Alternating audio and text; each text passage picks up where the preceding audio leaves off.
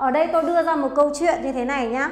À, cùng trong một khoảng thời gian nhá cùng một khoảng thời gian có những người làm công việc giúp việc à, một ngày có thể thu nhập được 500 nghìn một ngày.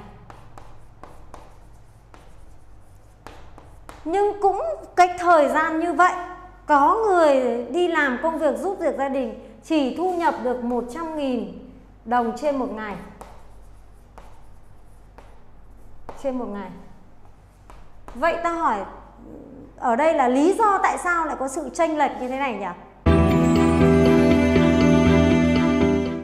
Xin chào tất cả các chị em trong công ty. À, Trong ngày hôm nay tôi sẽ tiếp tục trao đổi với các chị em trong công ty về kỹ năng quản lý thời gian và tổ chức cái công việc sao cho hiệu quả nhất phải nhỉ. chúng ta biết rằng là à, con người chúng ta ai cũng có một cái quỹ thời gian à, trong một ngày là như nhau phải không nhỉ? Vậy thì với cái quỹ thời gian hiện tại của các chị các chị muốn tăng cái thu nhập cho mình các chị lại ừ, tăng thời gian thế nhưng lại vẫn cảm tăng thu nhập thế nhưng vẫn cảm thấy làm gì nhỉ? Ta làm việc nó không bị mệt mỏi ta vẫn cảm thấy thảnh thơi trong công việc của chính các chị hiện tại. Thì các chị nhất thiết là phải ừ, biết cách quản lý về cái quỹ thời gian và sử dụng quỹ thời gian đó như thế nào để từ đó tổ chức công việc của mình sao cho hiệu quả nhất? Thì buổi ngày hôm nay tôi sẽ trao đổi với ừ, các chị em về à, cái cái kỹ năng quản lý thời gian và tổ chức công việc gồm có 3 nội dung. Nội dung thứ nhất đó chính là cái giá trị của thời gian, nội dung thứ hai đó chính là cách quản lý về thời gian. Và nội dung thứ ba đó chính là ta tránh những cái nguyên nhân làm cho à, ta bị lãng phí thời gian trong công việc phải không nhỉ? Vậy ta tôi xin đi vào nội dung thứ nhất đó là về giá trị của thời gian.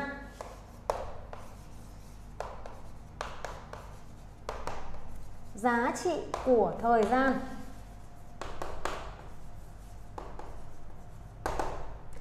À, ta vẫn à, nghe những cái câu rất là quen thuộc phải không nhỉ? Đó là thời gian là gì đấy?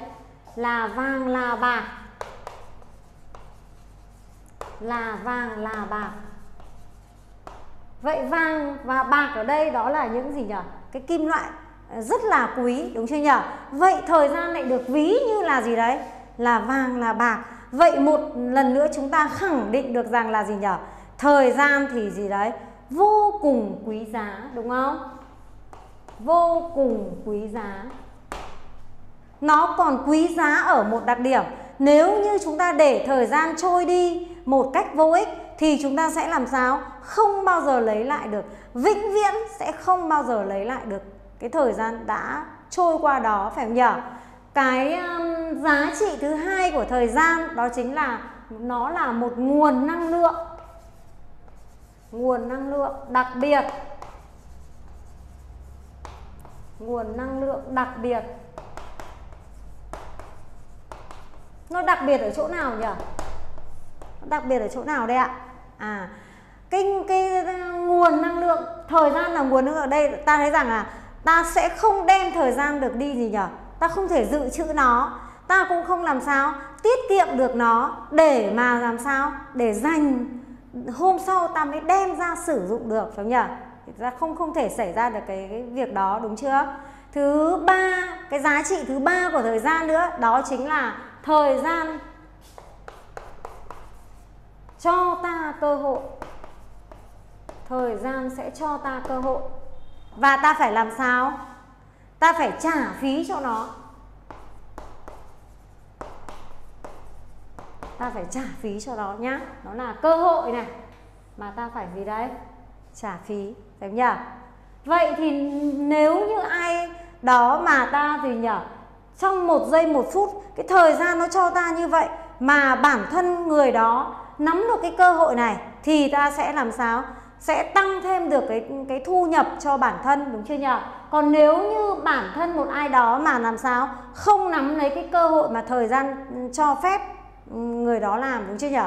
Thì người đó sẽ có cái nguồn thu nhập làm sao? Thấp hơn, phải không nhỉ? Thậm chí là không có cái thu nhập ừ, đúng chưa không thể có thu nhập luôn. Đấy, nên vậy là ta nhớ rằng là nó thời gian nó cho ta cơ hội và ta phải làm sao? Phải trả phí, phải chớp lấy cơ hội đó để chúng ta gì nhỉ tổ chức làm việc có hiệu quả, đúng nhỉ nội dung thứ hai tôi xin trao đổi với các chị em ở đây đó chính là về cách quản lý thời gian. Cách quản lý thời gian. Cách quản lý thời gian. Ở đây tôi đưa ra một câu chuyện như thế này nhá à, cùng trong một khoảng thời gian nhá cùng một khoảng thời gian có những người làm công việc giúp việc à, một ngày có thể thu nhập được 500 nghìn một ngày. Nhưng cũng cái thời gian như vậy có người đi làm công việc giúp việc gia đình chỉ thu nhập được 100 nghìn đồng trên một ngày. Trên một ngày vậy ta hỏi ở đây là lý do tại sao lại có sự tranh lệch như thế này nhỉ? À, ta thử suy nghĩ xem nào. À, à, ở đây ta thấy rằng là nếu như mà 100% các chị em ngồi đây đều hỏi nếu được hỏi lý do tại sao lại có sự tranh lệch này thì à, ta đều đưa ra lý do đó là sao nhỉ? Do năng lực là khác nhau này đúng nhỉ? Do gì nhỉ? Trình độ khác nhau này phải không nhỉ? Do cái kỹ năng làm việc này, đúng không? Do cái cơ hội làm việc khác nhau nên dẫn tới làm sao? Thu nhập khác nhau. Nhưng chúng ta không hề biết cái vấn đề then chốt ở đây. Mang tính chất then chốt và quyết định ở đây chính là quản lý thời gian. Đấy nhá, cái vấn đề này. Mới là vấn đề gì đấy? Then chốt. Quyết định đến việc hai con người này trong cùng một thời gian nhưng lại có thu nhập làm sao? Khác nhau, phải không nhỉ người mà biết quản lý cái quỹ thời gian này thì người đó sẽ làm sao nhỉ sẽ dẫn tới làm sao? Sẽ chủ động nhá. Sẽ chủ động trong công việc. Khi mà ta giành thế chủ động rồi thì có nghĩa là ta trong đầu ta hoàn toàn biết được là công việc gì ta làm trước, công việc gì ta làm sau việc gì ta dành nhiều thời gian hơn? Tức là ta có nghĩa là ta gì nhỉ? Ta phân bổ thời gian cho các công việc một cách là hợp lý nhất đúng chưa nhỉ? Mà sao cho là trong cùng một thời gian như vậy ta lại giải quyết được gì? Rất nhiều các công việc khác nhau và đem lại cái hiệu quả cao nhất đúng chưa nhỉ? Tôi lấy ví dụ như thế này nhé à, cùng làm một khu vực nhà bếp chẳng hạn nhé được chưa nhỉ? Tôi lấy khu vực nhà bếp à, công ty cũng đã dạy ờ, các chị em trong công ty rồi đúng nhỉ về cái quy trình làm nhà bếp thì ta làm gì nhỉ từ trên xuống gì đấy? Xuống dưới. Từ trong gì nhỉ ra ngoài đúng chưa nhỉ đấy. Vậy thì ví dụ như có những nhân viên thì đi làm đúng theo quy trình đấy thì ta làm đến đâu sạch đấy làm đến đâu xong đến đấy. Nhưng nếu như mà ta lại làm không làm theo quy trình như thế ví dụ như là ta lại đi gì nhỉ ta lại lau sạch làm sạch cái khu vực uh, chậu rửa bát rồi xong ta lại đi làm xuống bên dưới cái khu vực tủ. Đấy trong khi làm khu vực tủ đấy thì ta lại uh, giặt khăn vào cái ừ, cái chậu rửa bát đấy. Dẫn tới là việc vừa nãy làm xong sạch rồi bây giờ ta lại làm sao? Ta lại làm bẩn lại. Và tí nữa sau đó ta lại phải gì đấy? Ta làm lại nhá. Như vậy là ta thấy rằng là cái việc sắp xếp thời gian cái trình tự công việc nó sẽ ảnh hưởng tới gì đấy? Cái hiệu quả công việc phải không nhỉ? Rõ ràng là ta sẽ gì nhỉ? Sẽ mất thời gian hơn ta sẽ mất nhiều sức lực hơn cho cùng mấy cái công việc làm hoàn thành cái khu vực nhà bếp đó đúng chưa? Rồi. À, cái vấn đề thứ ba tôi sẽ trao đổi với các chị em ở đây đó chính là à, nguyên nhân mà làm cho các chị em rơi vào tình trạng là sử dụng thời gian một cách lãng phí như thế nào để ta tránh nhá.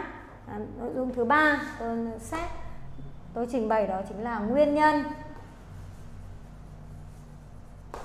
Các nguyên nhân gây lãng phí thời gian.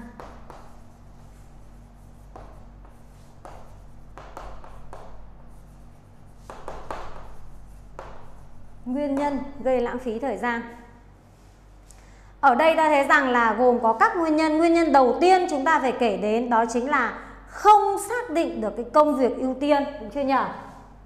Không xác định được công việc ưu tiên. Ở đây tôi sử dụng cái từ ưu tiên nhé để chúng ta xem xét này được chưa nhỉ? À, vậy thì nguyên nhân ta sẽ phải tìm hiểu cái nguyên nhân tại sao cái người giúp việc gia đình lại không xác định được cái công việc ưu tiên. Ngày hôm nay chúng ta đến nhà khách hàng, ta làm cái gì, đúng chưa nhỉ thì ở đây ta thấy là có hai nguyên nhân. Nguyên nhân. Nguyên nhân thứ nhất, đó chính là người giúp việc gia đình này đến làm cái công việc đầu ca làm, không tiến hành chốt việc với khách hàng. Chúng ta biết rằng là à, nếu mà chúng ta chỉ có giới thiệu tên hôm nay ờ, chúng ta đến làm nhà khách hàng thôi đúng chưa nhỉ? Thì khách hàng sẽ có những cái trao đổi rất giống nhau. Ở chỗ ví dụ như nhà nhà khách hàng là nhà tầng thì khách hàng sẽ bảo là em dọn cho chị hay cháu dọn cho bác từ trên xuống dưới. Hoặc nhà chung cư thì khách hàng sẽ chỉ nói chung chung là à, cháu dọn cho bác hay là à, à, em dọn cho chị tất cả các phòng của nhà chị à vậy thì khách hàng nói rất chung chung như vậy, người giúp việc lại không chốt việc cụ thể thì dẫn tới là cũng làm sao nhỉ? Sẽ không xác định được cái công việc ngày hôm nay khách hàng ưu tiên làm cái công việc gì, phải không nhỉ? Cái nguyên nhân thứ hai à, là người giúp việc gia đình có chốt việc nhá, có chốt việc. Nhưng trong quá trình chốt việc là gì nhỉ? Không để tâm là một này, không chú ý quan sát này quan sát ở đây tôi nhấn mạnh rằng là ví dụ như khách hàng trao đổi với chúng ta là à, tí nữa em làm cho chị cái uh, khu vực uh, phòng bếp này nhé. Vậy thì khi đó ta phải đưa mắt ta quan sát uh, khu vực bếp này gồm những cái công việc gì tình trạng của nó ra làm sao phải không nhở để tí nữa ta còn còn gì đấy còn phân bổ thời gian được cho nó. Đấy nhá. Ở đây tôi nhấn mạnh là ta không những để tâm mà ta phải gì nhở đi cùng khách hàng nghe khách hàng giao việc đồng thời là ta phải gì đấy? Quan sát và gì đấy? Ghi chép lại được chưa nhở? Ghi chép lại để đến khi ta làm là ta à, sẽ theo những cái yêu cầu của khách hàng đó để ta đắc cuối ca làm khách hàng kiểm tra ca làm thấy rằng là ta đã đáp ứng được các yêu cầu của khách hàng phải không nhỉ còn ờ, vì nếu không để tâm cũng như không chú ý thì nó còn dẫn tới một tình trạng như thế này. Là ngoài cái việc mà không xác định được cái công việc ưu tiên ngày hôm đó của khách hàng à, dẫn tới một tình trạng nữa là người giúp việc gia đình sẽ làm theo ý của mình. Đấy. Dẫn tới là công việc sẽ giàn trải. Cái gì ta cũng làm cái gì ta cũng lau ừ, tất cả mọi đồ dùng trong nhà đều được ta ờ, lau chùi hết à, dẫn tới là chỗ nào cũng được lau nhưng lại làm sao? Không kỹ và gì đấy. Không sạch theo đúng cái cái ưu tiên của khách hàng đúng chưa nhỉ? Thế còn à, à, đương nhiên là khi mà chúng ta dọn một nhà khách hàng tôi lấy ví dụ cụ thể đây là nhà chung cư chẳng hạn nhé đấy thì chúng ta đã được công ty dạy chúng ta là sắp xếp các công việc ưu tiên dọn từ phòng từ nơi sạch đến gì nhỉ? Đến nơi bẩn tức là ta sẽ dọn từ phòng ngủ phải không nhỉ xong đến gì nhỉ phòng khách phòng bếp cuối cùng là phòng gì đấy? Phòng vệ sinh đúng không? Nhưng trong ví dụ như ngày hôm đó lại khách hàng lại yêu cầu chúng ta là là, là ưu tiên nhá. Ưu tiên ưu tiên phòng khách. Đấy thế thì đương nhiên là cái quỹ thời gian của chúng ta dành cho cái việc mà chúng ta dọn phòng khách sẽ phải gì đấy sẽ nhiều hơn các phòng ngủ, phòng bếp, phòng vệ sinh, đúng chưa nhỉ Vậy thì khi lau dọn phòng khách đấy đã gọi là ưu tiên dành nhiều thời gian hơn thì đương nhiên là ta sẽ làm gì đấy? Làm tỉ mỉ và chi tiết hơn, đúng chưa nhỉ? Từ việc ta lau đúng không? Ta lau tất cả các đồ thường có trong phòng khách bao gồm có gì nhỉ? Có kệ tủ này đúng không? Tivi này đúng chưa nhỉ? Bàn à, ghế này đúng chưa nhỉ? Tranh ảnh vân vân. Đấy, cốc chén, có những vật dụng có trong phòng khách là ta lau chi tiết theo đúng yêu cầu của công việc ưu tiên nhà khách hàng nhé đấy công việc thứ hai mà à, cái yếu tố thứ hai mà nó làm cho ta gây lãng phí thời gian cho ta, đó chính là ta không lên được kế hoạch. Không lên kế hoạch. Cũng như là không phân bổ thời gian hợp lý. Không phân bố thời gian hợp lý.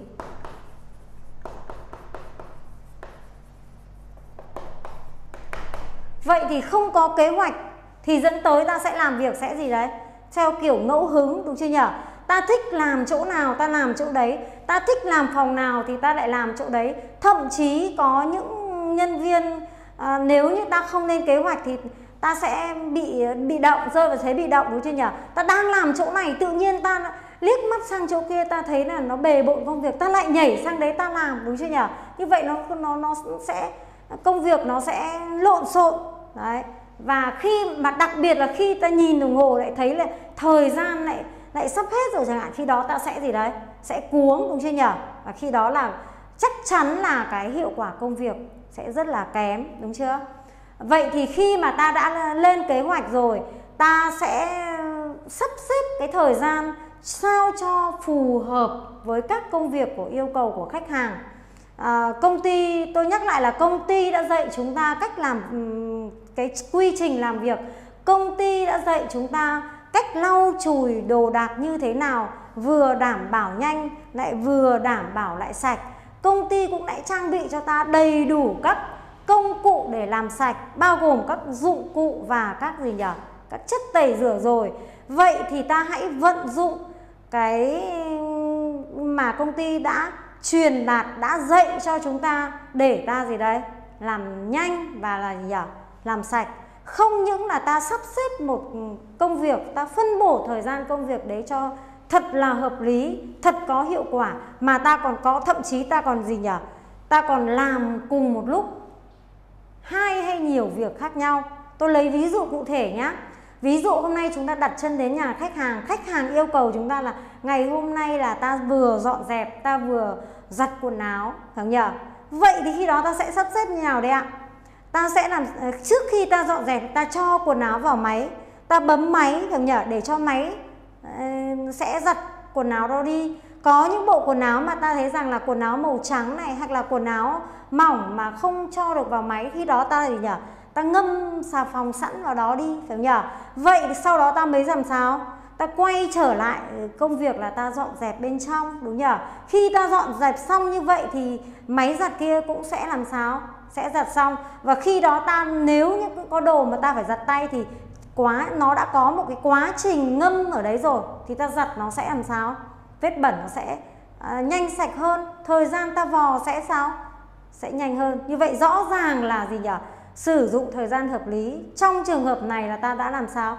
Đã giải quyết được nhiều công việc cùng một cái quỹ thời gian như thế đúng chưa nhỉ? Hoặc tôi lấy ví dụ thứ hai là khi nấu ăn nhá đấy, khi nấu ăn thì không phải là ta chuẩn bị hết là là nhặt rau, rửa rau, để sẵn ở đấy rồi là thái thịt à, rửa thịt, thái thịt lại cũng để vào đấy. Rồi chuẩn bị tất cả các món khác sẵn sàng đấy rồi ta mới đem ta mới quay ra ta nấu, đúng không? Thì như vậy là nó cũng chưa được hợp lý. Đấy. Bằng cách là bây giờ ta làm sao?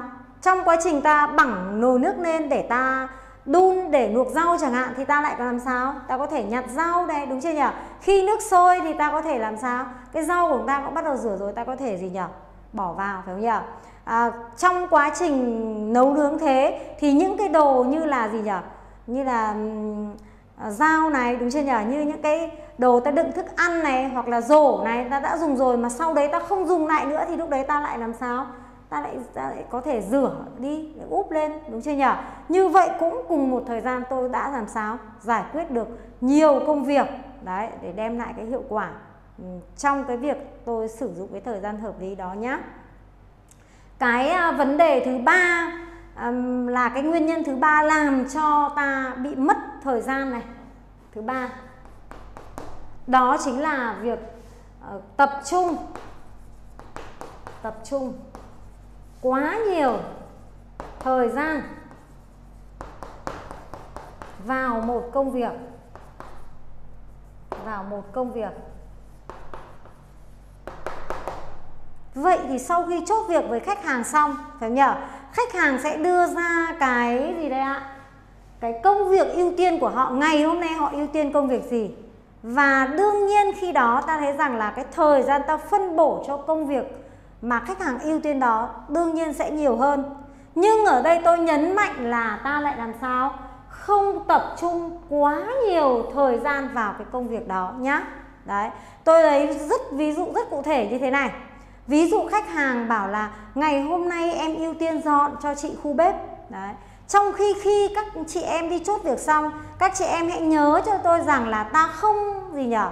Lập tức ta bắt tay vào công việc ngay, mà ta hãy dành cái một vài phút để ta gì nhở? Ta hình dung lại ta sắp xếp ta phân chia thời gian cho các khu vực mà khách hàng yêu cầu. Trong đó có khu vực gì đấy mà khách hàng ưu tiên tôi dành thời gian gì đấy?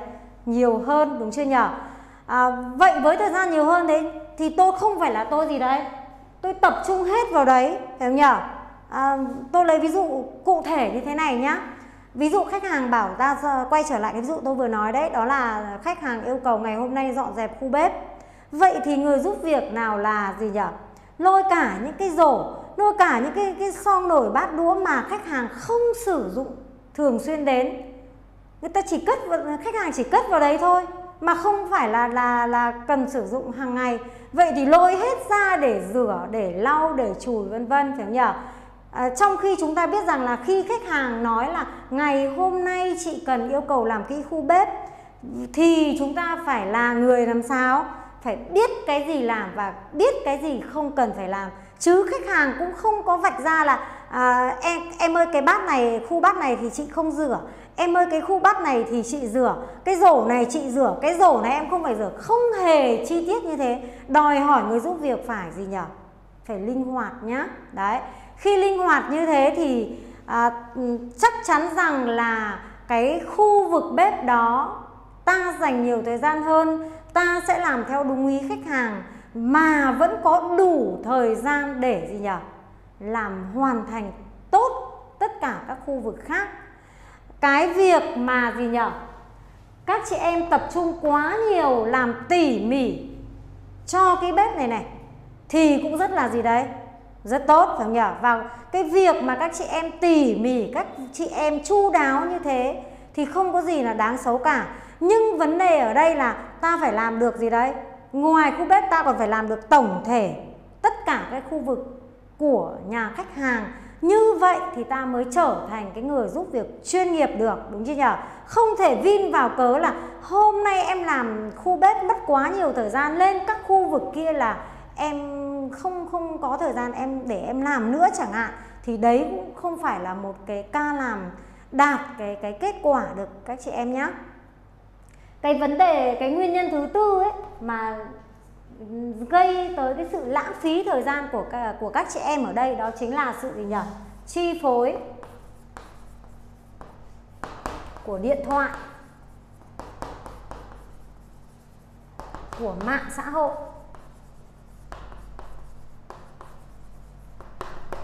À ta thấy rằng là nếu mà nói về sự phát triển về mặt xã hội thì cái vấn đề mà ta sử dụng điện thoại ta sử dụng mạng xã hội thì nó lại là gì đấy?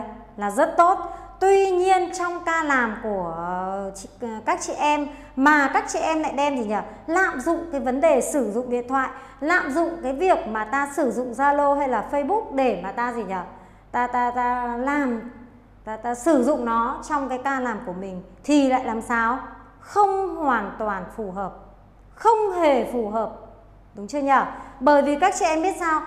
À, trong một giây một, một phút nó trôi đi một cách lãng phí như thế thì khách hàng của chúng ta đã phải làm sao nhỉ đã phải trả tiền cho cái một giây một phút trôi đi một cách lãng phí như vậy đúng nhỉ à, chúng ta biết rằng nhá à, khi cái việc cái tôi chú ý là khi các anh chị sử các chị em sử dụng điện thoại thì ở đây chúng ta không phải là ta ta cấm ta cấm các chị em sử dụng điện thoại trong ca làm. Mà ở đây ta gì nhỉ trong một số cái tình huống đặc biệt thì ta vẫn có thể làm sao nhỉ xin phép khách hàng để ta gì nhỉ giải quyết công việc trong cái thời gian ngắn nhất đúng chưa nhỉ à, ví dụ như là khi ta nghe thấy chuông điện thoại à, nếu như thực sự đấy là cuộc gọi của người thân nếu như thực sự có công việc gấp công việc quá cần thiết phải gặp được chúng ta thì không chỉ gọi một lần mà sẽ gọi 2 đến 3 lần như vậy nhỉ? Và khi như vậy thì ta có thể xin phép khách hàng để ta nghe. Nhớ cho tôi là nghe và giải quyết công việc gì nhỉ? Thật là gì đấy? Nhanh chóng, nhanh chóng nhất trong mức có thể.